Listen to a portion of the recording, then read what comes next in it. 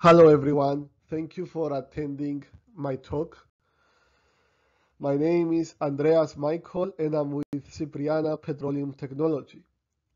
The title of my talk is uh, Manometric Method for Sorbed Gas Estimation in Organic Rich Shales Considering Matrix Swelling, an overview, and the paper number is 3142, which is an easy to remember number because if you put a period between 3 and 1, it becomes the number symbolized by the Greek letter P.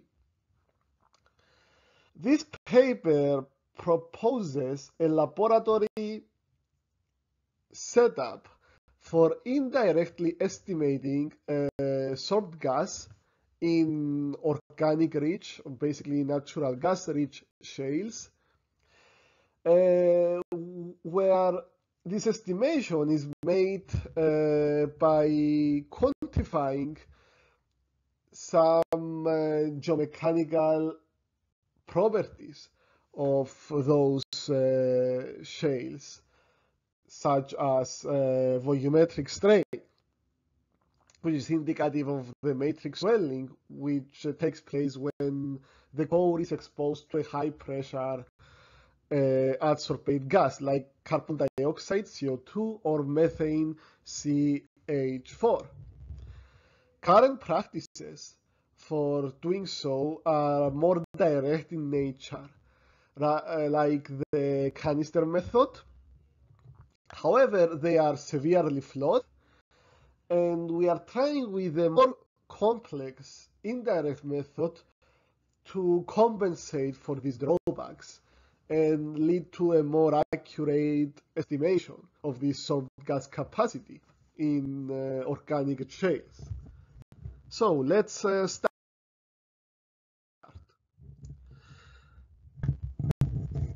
A significant portion of natural gas saturation in uh, shales is found adsorbed as layers on liquid layers on the pore surfaces.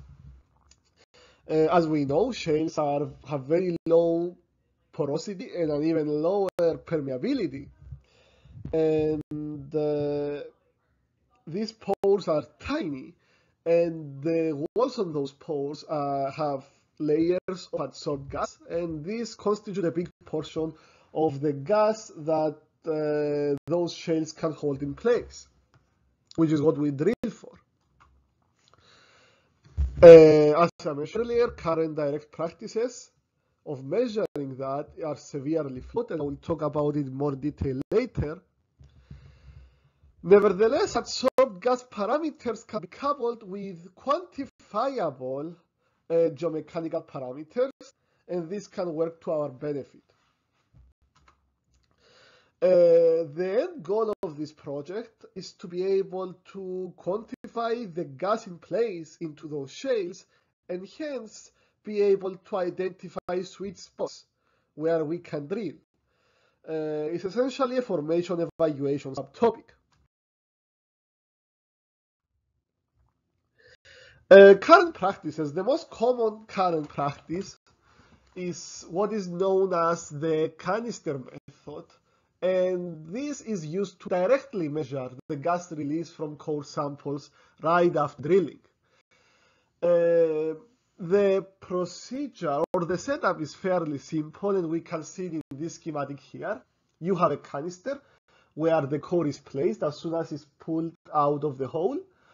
Uh, then the canister is uh, closed shut and let there for uh, some time and during that time, gas gets released into the air, surround, into the air that is already in the canister and raises its pressure.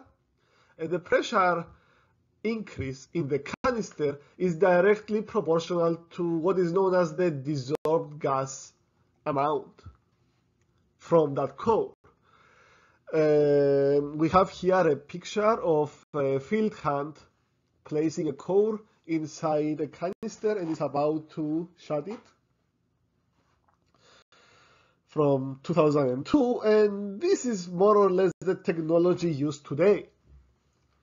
Like I said, uh, it's there are severe drawbacks with this method. The first one is that uh, the amount of lost gas, which is the gas that is lost from the time that the shale sample is cored until it's placed in the canister and the canister is shut.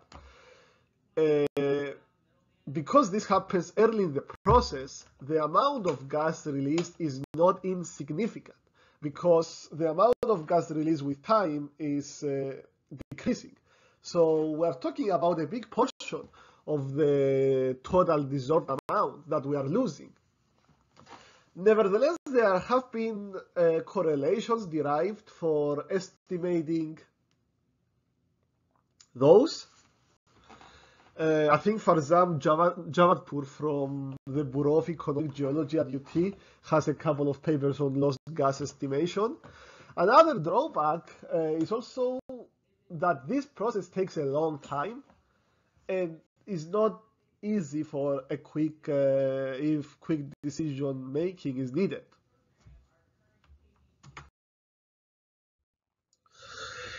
Uh, before uh, giving a detailed description of uh, the proposed laboratory method, uh, there need to be some basic uh, calculations that are necessary as background to be able to understand this uh,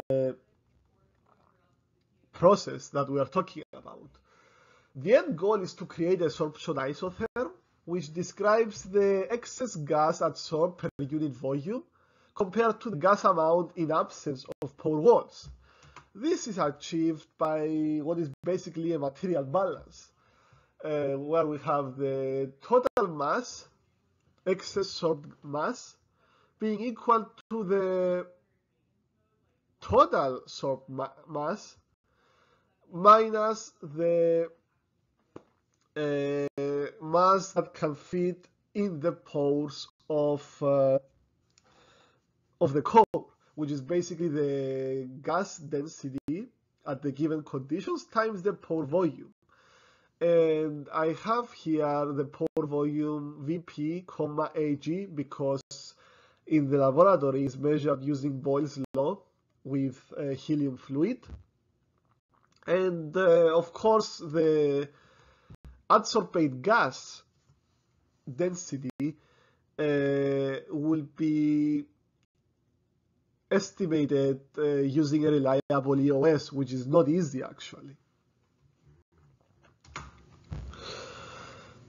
Um, then an adapted three-parameter version of the Langmuir model uh, for high pressure can be used um, in order to quantify the excess sorbed capacity of the core at the given conditions.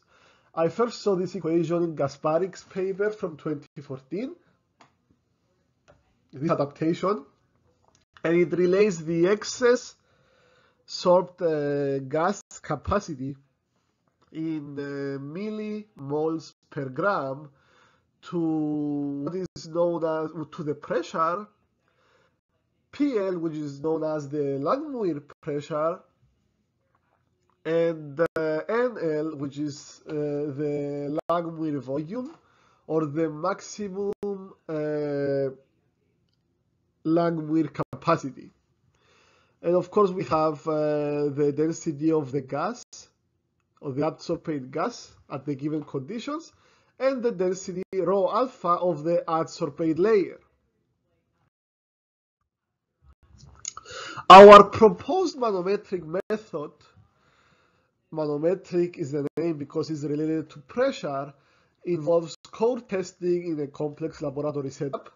As we see here, we have a high pressure adsorbate gas, methane carbon dioxide connected to pumps which uh, push it into the sample cell where the core is placed within a cantilever beam which has attached strain gauges on it. So as it swells during its exposure to high pressure adsorbate gas the strain gauges measure the strain, the volumetric strain, strain, which is a quantification of the matrix swelling.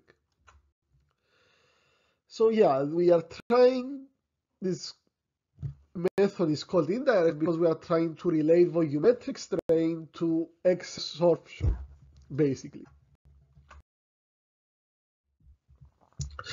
Now, quantifying matrix swelling is a fairly simple process, uh, despite the difficulty to do that in the lab uh, due to, uh, I guess, setup uh, difficulties.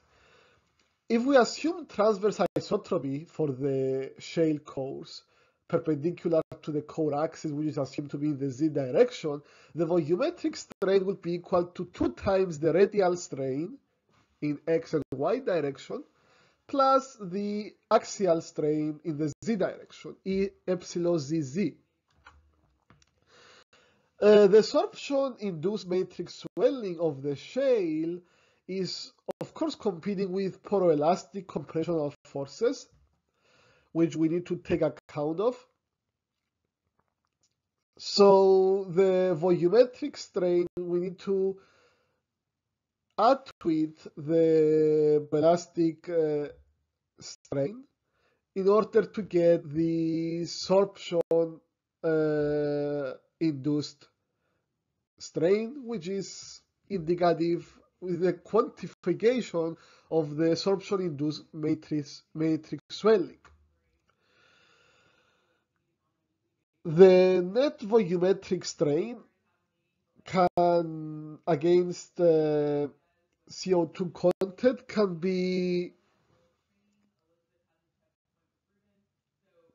can be related to the matrix swelling epsilon m, sorry, using the pressure and the Langmuir pressure.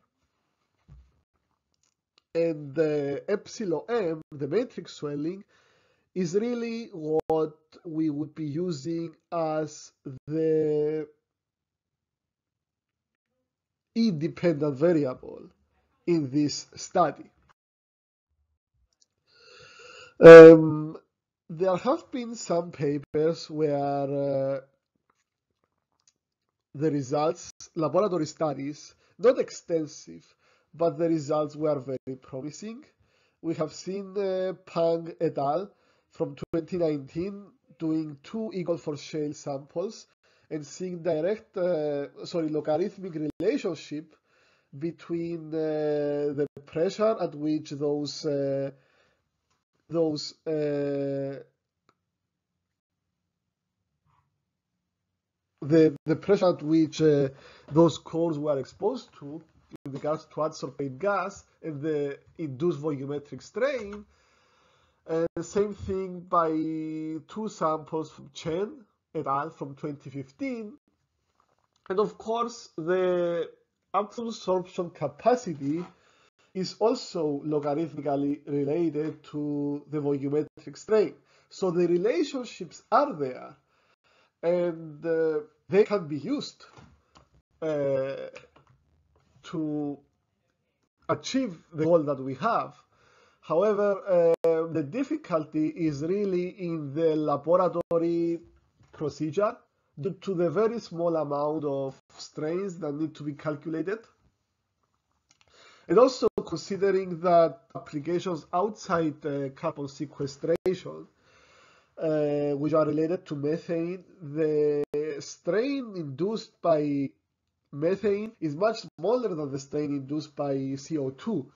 So it will be even harder to measure. However, there might be ways to relate the two. So you can measure in the lab CO2 using CO2 and uh, extrapolate to CH4. Also, there is hysteresis involved by pressurizing and depressurizing, so there needs to be uh, considered. And yeah, so uh, the conclusion is that uh, sorbed gas uh, capacity estimations can be quantified uh, by doubling with uh, easy to quantify geomechanic parameters, relatively easy. A three-parameter Langmuir excess sorption equation shows a good fit with excess sorption isotherm data in shales.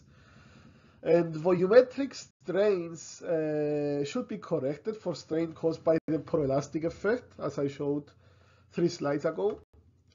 And even though the indirect manometric method eliminates some flaws of the canister method for sorption capacity estimations in shales, it exhibits a lot of complexities and uh, further work is necessary because before this uh, method, this manometric indirect method becomes a, a common practice in the industry.